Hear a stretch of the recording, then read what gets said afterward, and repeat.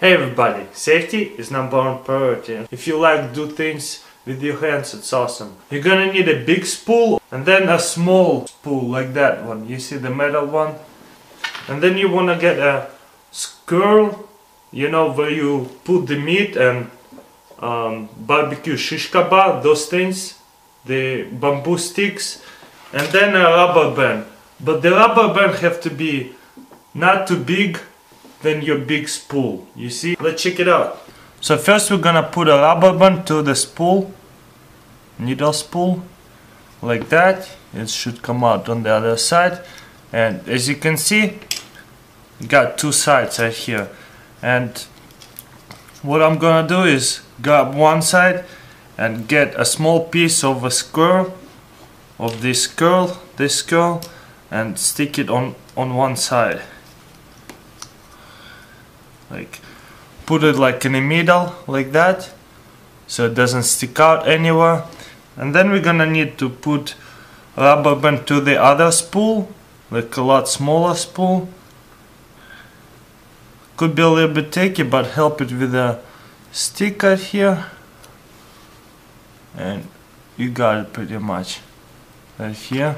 Put it in. And just stick it like that and we're pretty much done right here. Alright and then we're pretty much done. All you're gonna need to do is wind it now.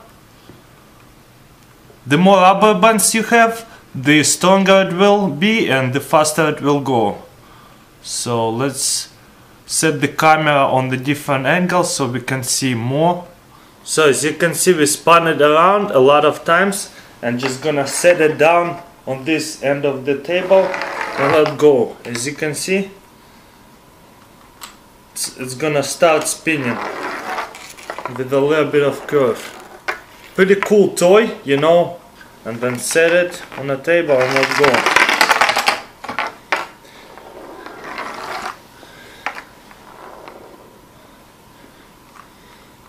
To get more tension you can uh, cut the small pieces on the side of the spool like this ones so it will be like getting tension on the table. But my table as you can see I just fix it is very slick so it doesn't get any tension. If you do it on a carpet or somewhere will be a lot better.